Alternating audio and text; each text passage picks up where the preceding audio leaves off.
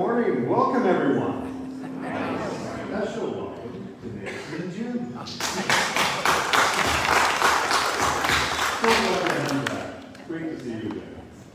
So, before we get started, what celebrations do we have other than celebrating Nancy and June? Birthdays, anniversaries. Hilda. Willis and my anniversary is on Friday, Whoa, and may I ask how many years? fifty-one. Willis? Another 51 years as well. Come on, Willis, you have to smile, it's one of those requirements. Any other celebrations? Um, What? she's not done, oh, Our anniversary is also Friday, Oh, but right. five years. Five years. Now, nobody makes these smiles. See, Willis, we can't. Sorry, I shouldn't be picking on people. Sad. Any other celebrations? My dad's birthday is Friday. hey, Sorry? My dad's birthday is Friday.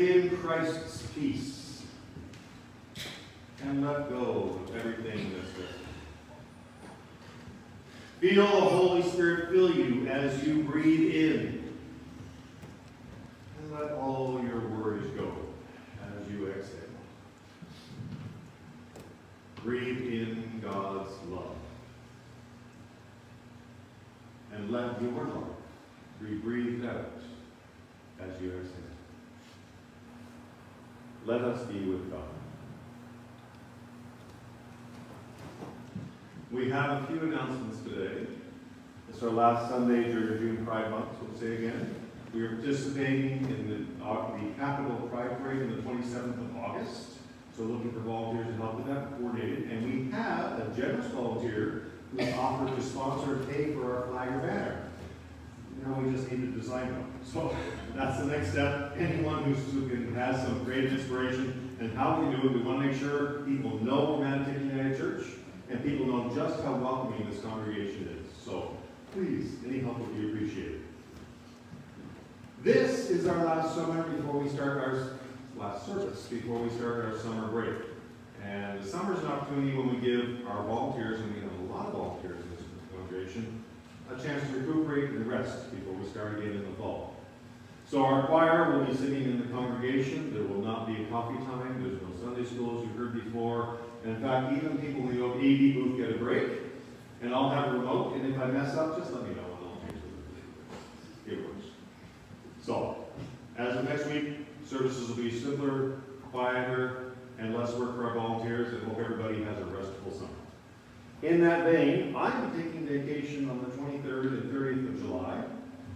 Uh, we're still looking at what are the optional workshops for those two weeks. We will let you know probably about two weeks where we suggest and where are places that you could go to worship during those two weeks while I'm on vacation. Uh, thank you to everyone here. We had eight people from this congregation participate participate in the Indigenous Peoples National Indigenous Peoples Day and the blessing of the Healing Garden over at St. James Anglican Church. It was a wonderful service. And Reverend Carey and I were talking on Thursday, and we definitely want to do more as joint ecumenical congregations, building our relationship with the indigenous peoples of the area. And I think combined, we can do far more than each of us can do separately. I think it's going to be a wonderful opportunity for us. In that vein, let us read our land acknowledgement. We are gathered on the unceded territory of the Algonquin Anishinaabe peoples, and acknowledge their stewardship of this land throughout the ages. As part of our commitment to reconciliation with the indigenous peoples of Turtle Island, we support the 2015 Truth and Reconciliation Commission calls to action. We call upon all levels of government to enable residential school survivors and their families to reclaim names changed by the residential school system by waiving administrative costs for a period of five years for the name change process. And let us start by lighting our question.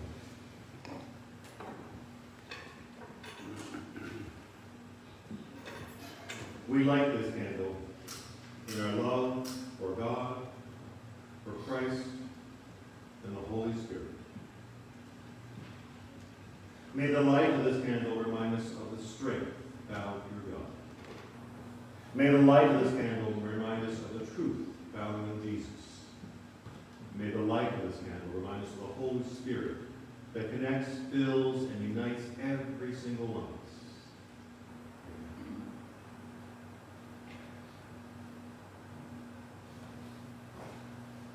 In the sunshine of summer, even when it's a bit smoky today, come to God's picnic. Jesus will be present. And as it was 5,000 years, years long ago, our hunger will be satisfied. Let us worship God. Let us pray. Gracious God, in your presence there is life. Living water springs up, and the bread of life appears, and all are fed with food, food to spare. We come to you with hungry hearts, waiting to be filled, with a sense of your presence, with a touch of your spirit, with new energy for service. Amen. And let's start this celebration of the service with I Danced in the Morning. Voices United 352.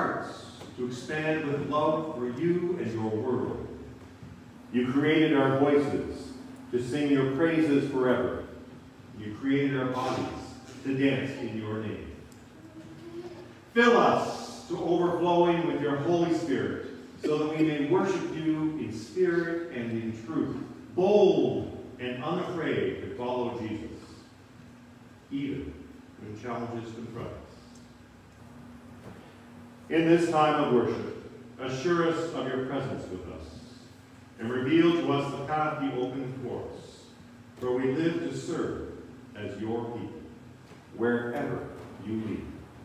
Amen. And now I invite you to join in our prayer of confession. God, who creates the future, you call us to follow you, yet we prefer familiar paths. You offer us new beginnings, yet change makes us uncomfortable. You invite us into the fullness of life, yet we resist more than we already know. Forgive us, O God, and make us the courageous disciples, ready to serve in Jesus Christ's name. Amen. In Jesus Christ, every day, today and every day that before and after us, we are created anew.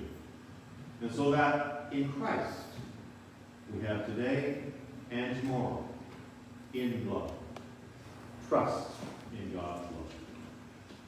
May the peace of Jesus Christ be with you always.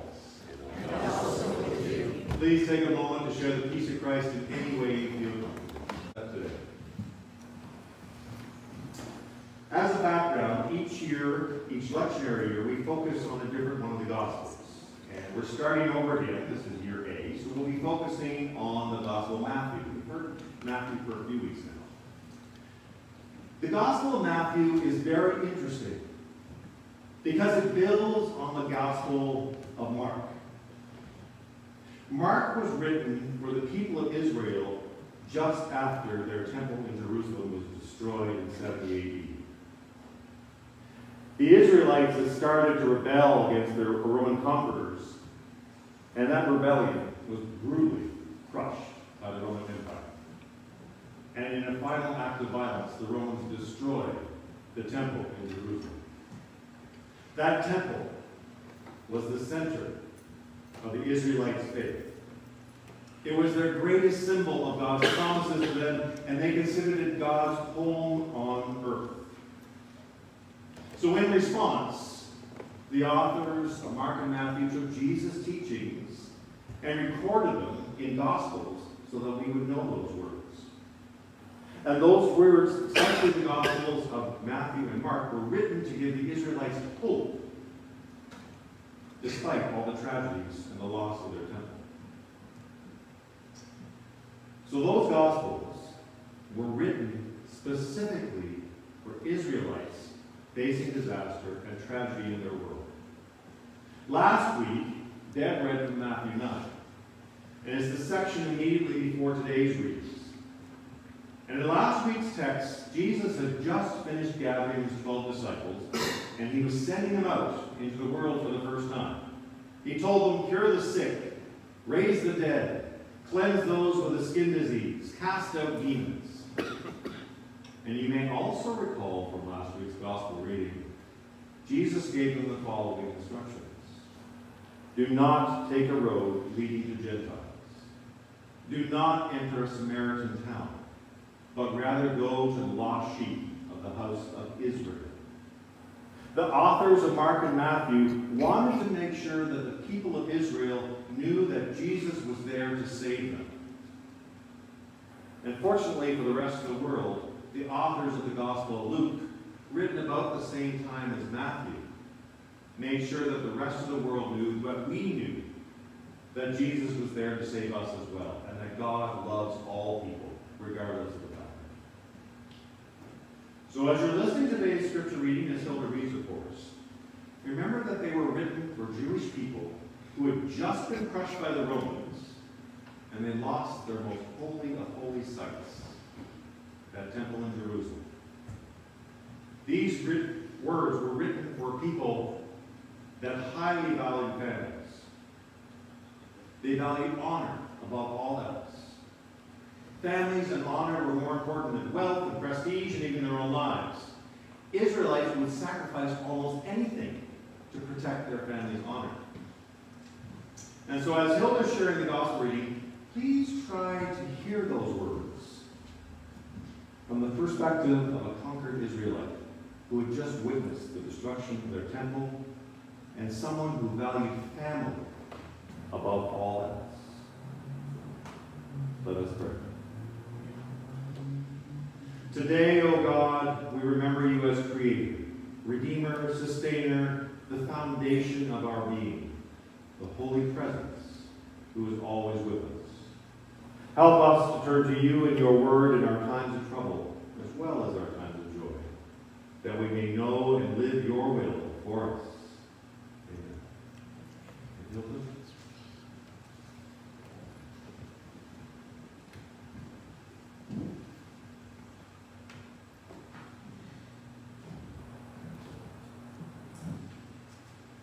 The first reading is from Romans chapter 6, verses 3 to 11. Do you not know that all of us who were baptized into Christ Jesus were baptized into his death? Therefore, we were buried with him by baptism into death, so that just as Christ was raised from the dead by the glory of the Father, so we also might walk in newness of life. For if we have been united with him in a death like his, we will certainly be united him in a resurrection like his. We know that our old self was crucified with him, so that the body of sin might be destroyed, so we might no longer be enslaved to sin. For whoever has died is freed from sin, but if we died with Christ, we believe that we will also live with him. We know that Christ, being raised from the dead, will never die again. Death no longer has dominion over him. The death he died, he died to sin one, once for all. But the life he lives, he lives to God. So you also must consider yourselves dead to sin and alive to God in Christ Jesus. And from Matthew 10, 26 to 39. So have no fear for them, for nothing is covered up that will not be uncovered, and nothing secret that will not become known. What I say to you in the dark, tell in the light, and what you hear whispered, proclaim from the housetops. Do not fear those who kill the body, but cannot kill the soul. Rather, fear the one who can destroy both soul and body in hell. Are not two sparrows sold for a penny? Yet not one of them will fall to the ground apart from your Father. And even the hairs of your head are all counted. So do not be afraid, you are of more value than many sparrows. Everyone, therefore, who acknowledges me before others, I also will acknowledge before my Father in heaven. But whoever denies me before others, I also will deny before my Father in heaven. Do not think that I have come to bring peace to the earth. I have not come to bring peace, but a sword. For I have come to set a man against his father, and a daughter against her mother, and a daughter-in-law against her mother-in-law. And one's foes will be members of one's own. Whoever loves father or mother more than me is not worthy of me, and whoever loves son or daughter more than me is not worthy of me. And whoever does not take up the cross and follow me is not worthy of me. Those who find their life will lose it, and those who lose their life for my sake will find it. The word of God for the people of God.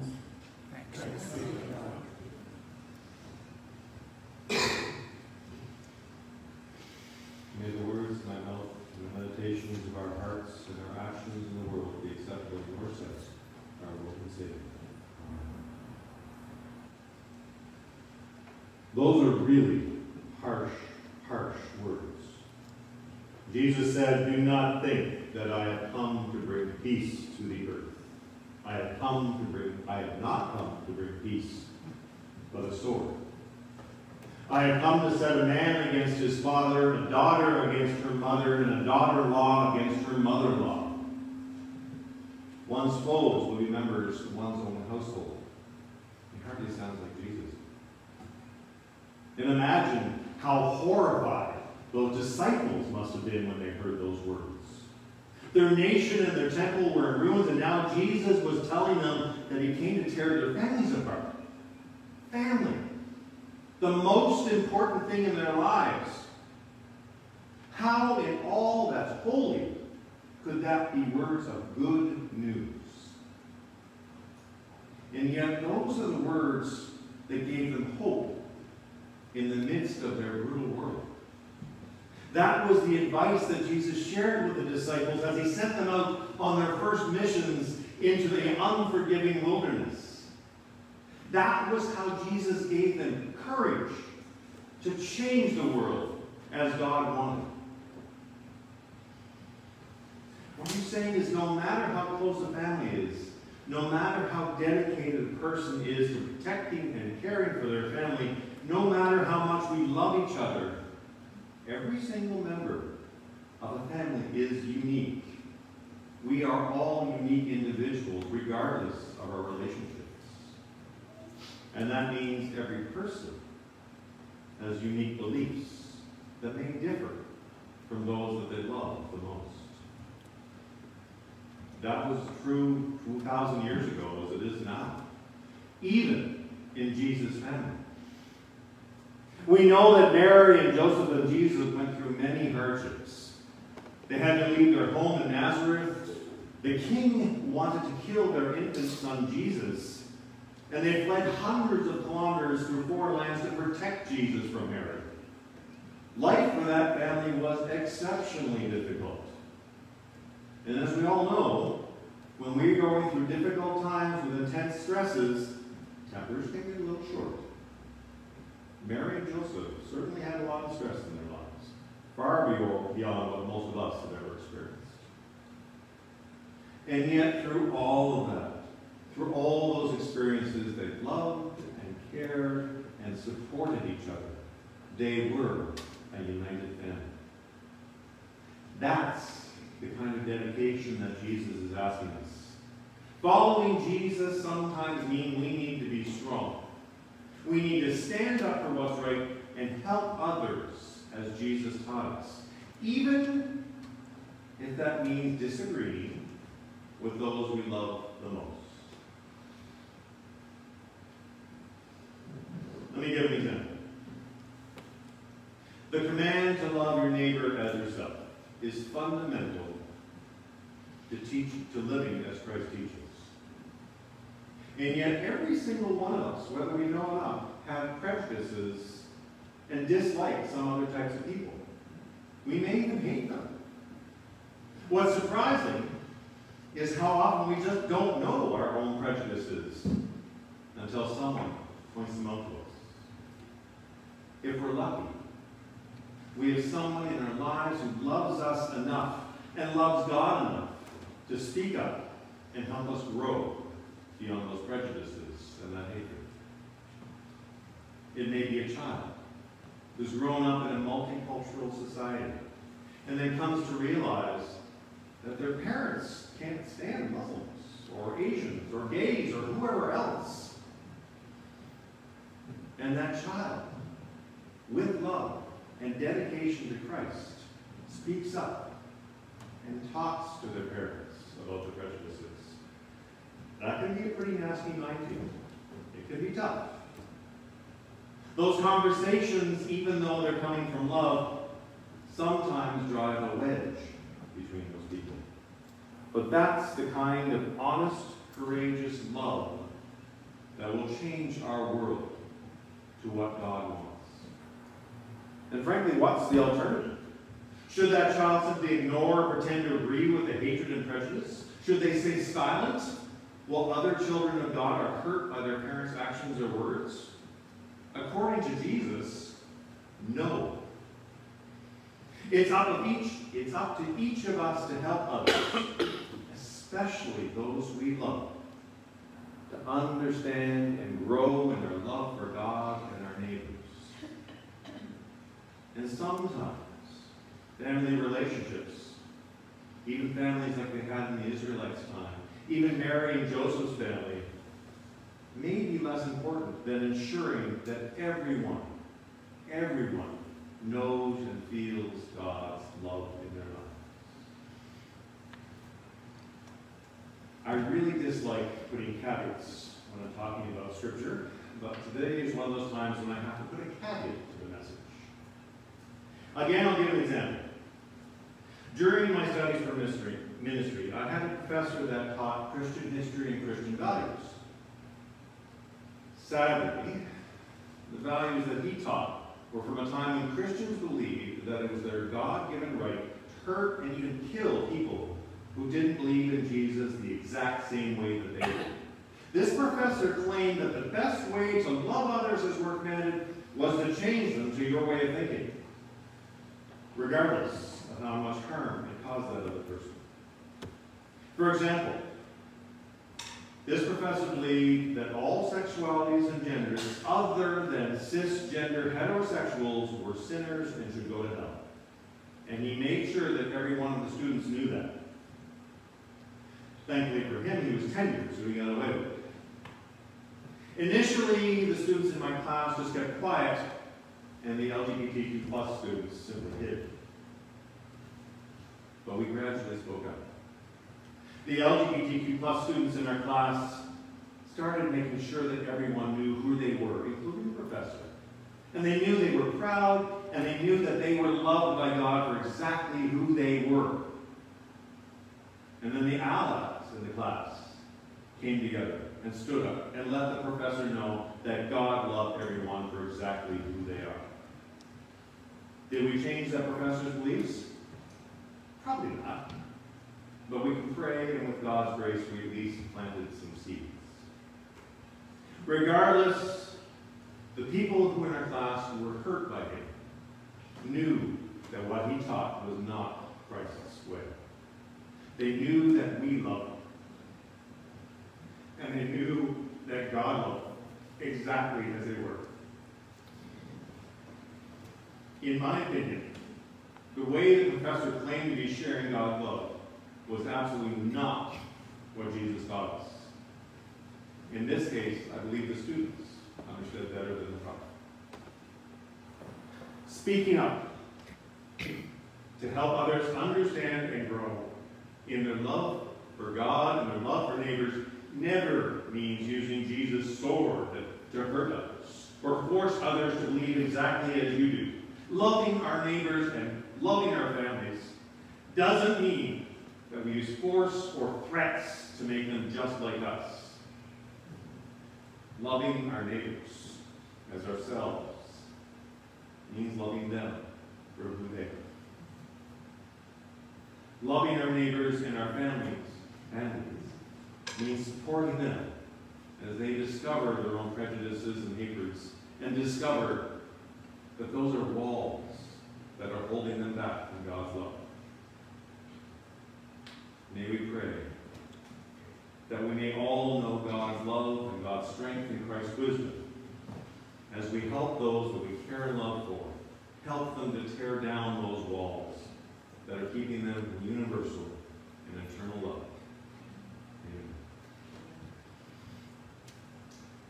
We're not having a hymn now because of the communion service, so we'll go directly into the blessings of our offerings. And as a reminder, we don't do collection through the service, the plate is in the back. Today, I would like to make a special thank you to the small team of people who decorate and care for our sanctuary. Sheila with flowers, Judith preparing the communion tables, Catherine supporting us, flowers and decorations. It's a small team, but they keep this place beautiful, and we really appreciate your work. Let us pray. We give with the hope, dear God, that you would remake us in Christ's image. Be near to us as we draw near to you. Let our lives praise you as surely as our gifts seek to honor you. And take what we offer now and use it for your glory. For Jesus' sake. Amen. Now listen to Pour Out Our Spirit.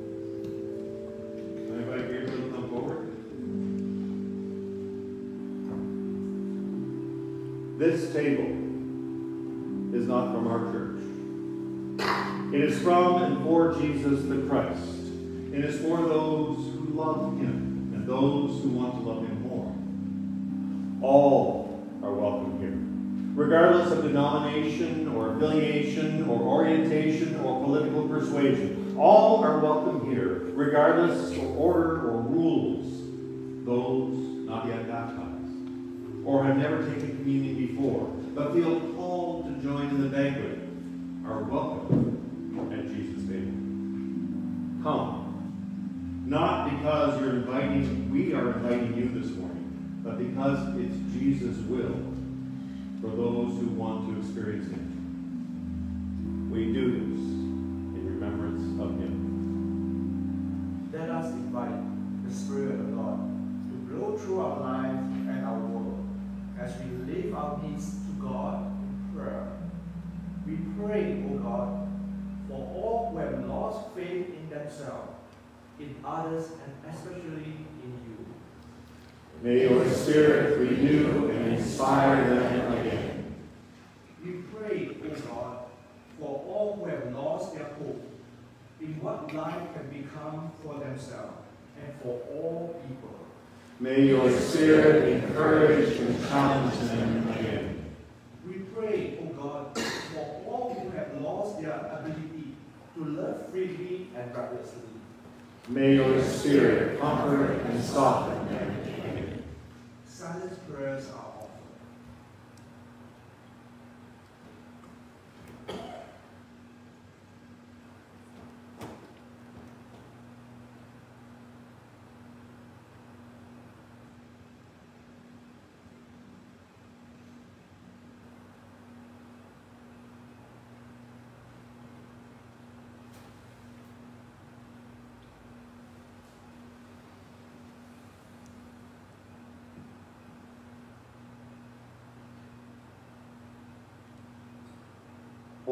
Spirit of God, fill the world with your peace, fill the church with your purpose, and fill us with your power for the sake of your kingdom. Amen.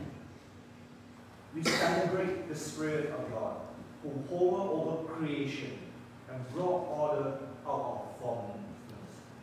We praise you, Spirit of God. We celebrate the Spirit of God, who filled Jesus with power and wisdom, and through him make the life of God available to all. We praise you, Spirit of God. We celebrate the Spirit of God, who has poured out on all people and lead us into the kingdom of God. We praise you, Spirit of God. And so, as we gather at the Lord's presence among us, and we open our hearts to the Spirit influence,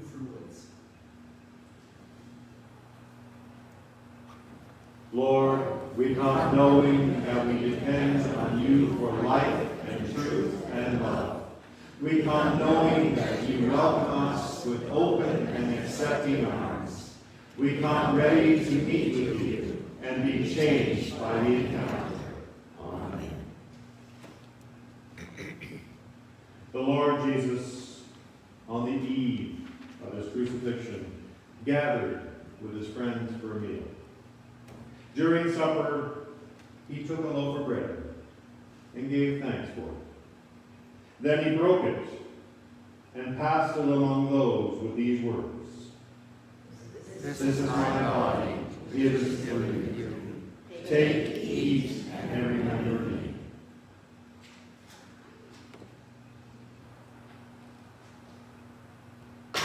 After the meal, Jesus took a cup of wine and gave thanks for it.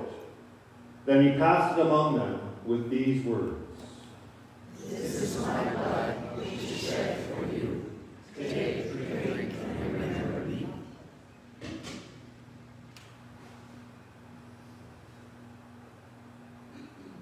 So now we eat and we drink and we remember Jesus and his great love for us.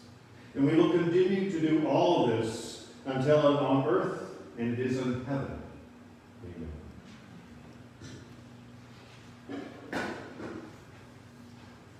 Before I invite the servers to come forward, this will be the second time we're using a new procedure to hand out the elements. Each of the servers with the bread will have tongs, and they will use it to grab a piece of bread. Please do not grab from the tongs because it contaminates the tongs. We will drop the bread into your hands. I ask the servers to come forward.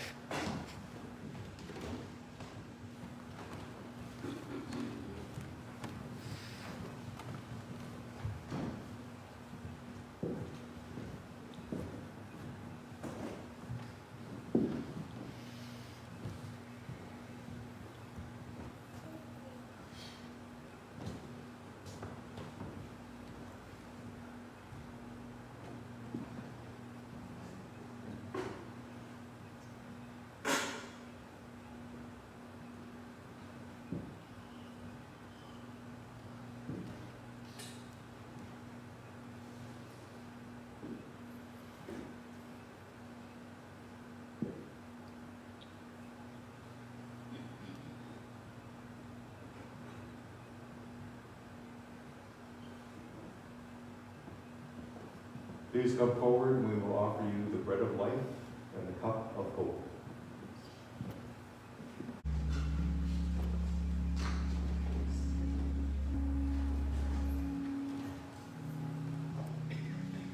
Thank you, Lord Jesus, for this meal of remembrance and for coming to us in the spirit power as we share it.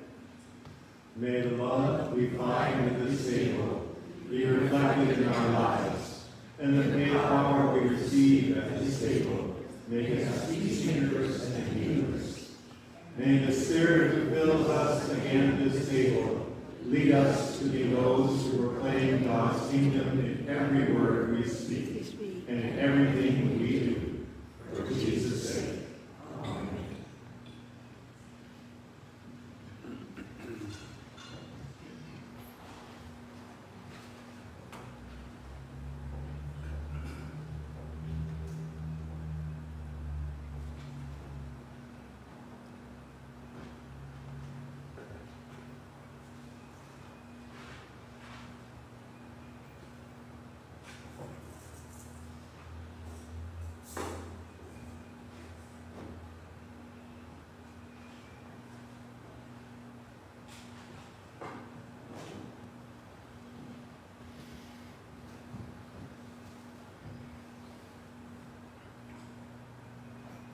Before I begin the prayers of the people, are there any people or situations that you'd like us to mention today?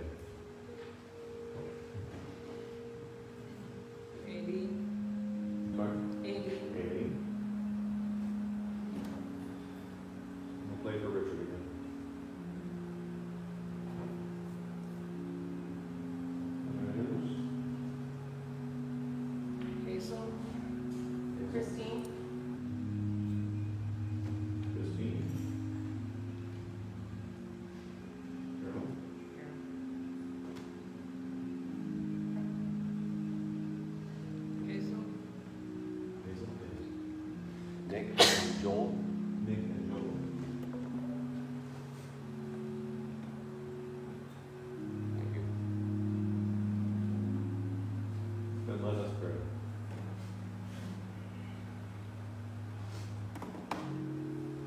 God of compassion and courage in our weakness, you are our strength. In our sorrows, you are comfort and peace.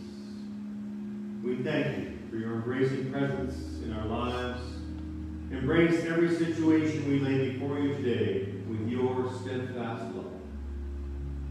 We thank you for the moments of joy that break into our lives, for love given and received, for friends who furnish our life with meaning and happiness, and for family who embrace us with love and understanding. We pray for those who cannot feel joy today, for any estranged from family or friends, and for those feeling stress as the costs of living rise, and for those who face any kind of loss. Embrace us all with your mercy, O God. Please give us grace to respond to the needs around us. God of the nations, we pray for our country as Canada Day approaches. We give thanks for peace and plenty in this land and for the resources to support those facing difficulties in our communities. Challenge those who govern to share resources as a generous global partner and commit to international efforts to preserve the earth for future generations. Guide leaders to set fair policies that protect vulnerable groups and ensure equity and dignity for all. Embrace us all with your mercy, O God, and give us grace to respond to needs around us. Eternal God, we thank you for your people in every age who have entered into your heavenly presence, especially those dear to our own hearts. Thank you for the memories that inspire us, for love, laughter shared, and lessons learned. Hear us now as we offer prayers in silence for the concerns in our hearts this day.